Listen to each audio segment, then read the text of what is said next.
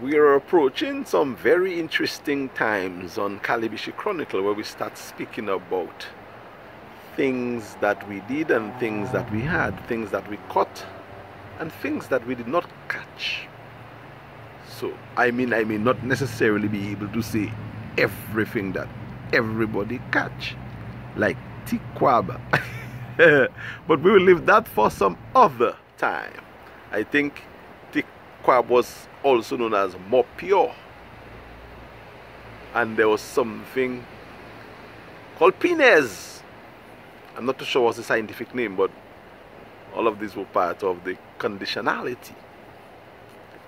At the time, I don't think there, there's Pinez anymore in any part of Calibishie for sure, and, and certainly hopefully not in Dominica. Parce on Pinez paisé.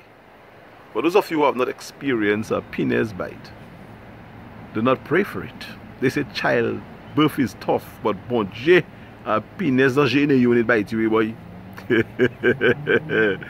the sad thing is that some people used to come to school with Pinez running over. Anyway, leave that alone, eh?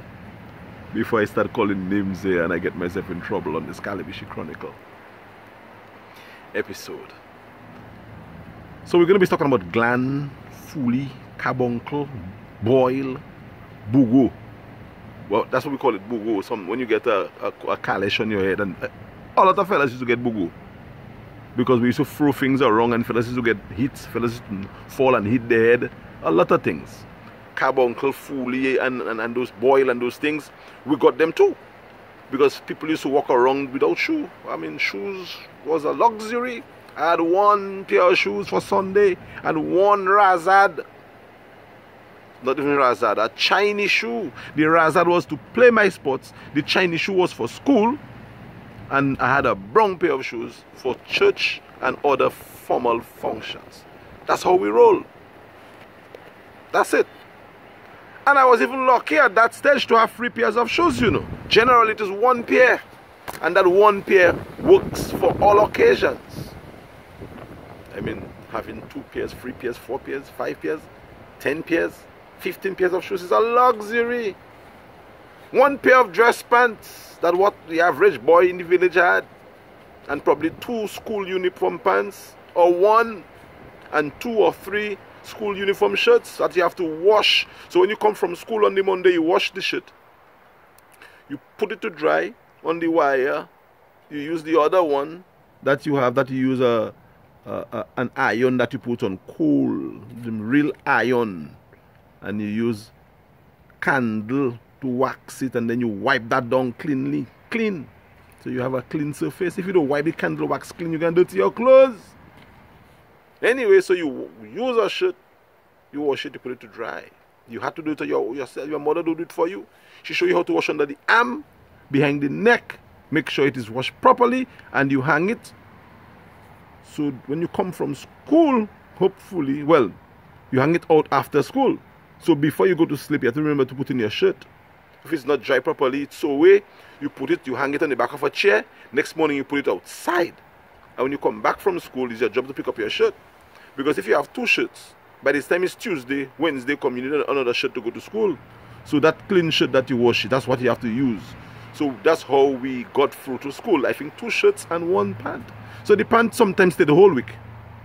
For boys, I don't know too sure about the girls and their skirt, but my pants did me an entire week, and I washed my pants on a Friday, and I go to go again on Monday, and I had two shirts, so we we recycle the shirts. No shoes. That's why we had carbuncle or fully or boil. Now, these different ailments had different names for different reasons. I think the fully was more when a stone squeeze you had. The fully was deeper. The carbuncle was a bit more surface. And the boil was endemic of some other problem. I'm not sure whether it was related to you squeezing your foot per se. And the issue of stump toe was another tradition all boys would have stump toes. One, two, three, four stump toes on one foot because remember we have no shoes. And we use our toes and feet to do everything, including playing football, playing cricket, playing hide and seek, playing hoops away. At the end of the day, your cure for those things and also for your bruises that you would get is to go and soak in the sea. That was a major made for those um, conditions.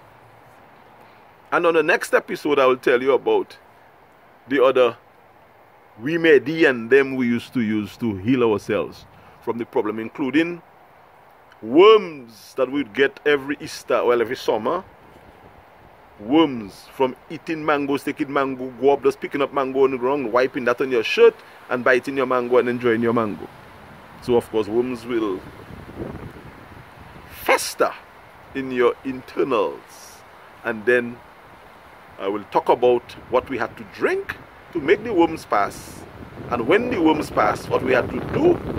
But that will come up on the next episode here on Calibishie Chronicle.